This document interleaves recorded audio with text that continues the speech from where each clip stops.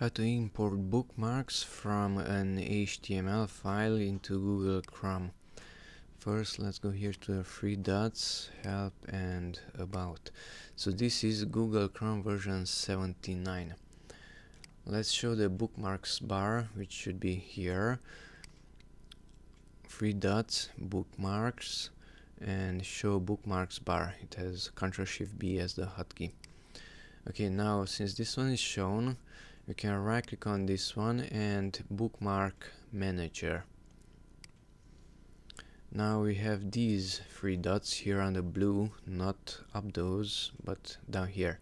So three dots import bookmarks and search for that HTML file. This was exported by Firefox okay and open. And voila the bookmarks are shown up here you can close this tab and they are here. You can delete some of them if you don't want and that's it